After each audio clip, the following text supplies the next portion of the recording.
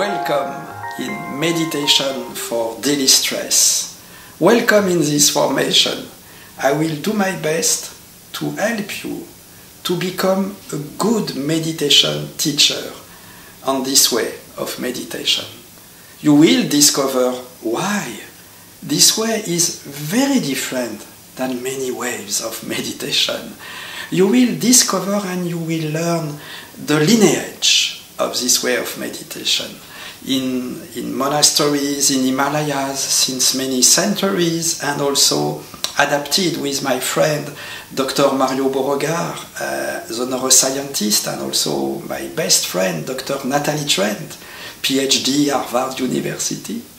So you will discover the bridge of this way of meditation between the pure acknowledge that we can live when we are in a monastery and also the last discover in neuroscience how works our brain.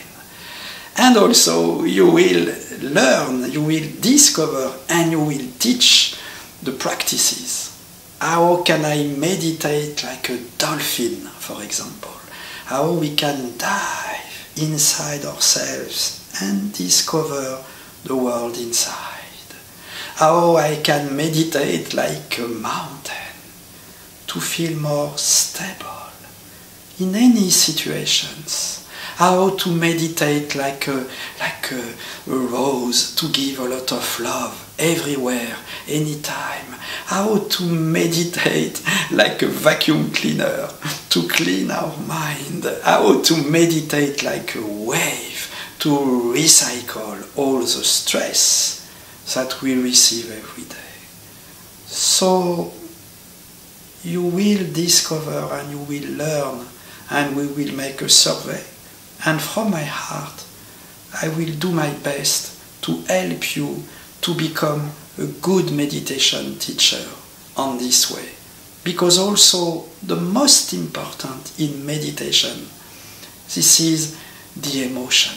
This is the Powa we say in Tibetan. The Powa means the transfusion of energy, the good energy that I will give to each of you and that you will give to every person who will come to you to discover the most important thing in life to be more present, to be more quiet, so to be more intelligent, so to be more compassionate, so to be more free.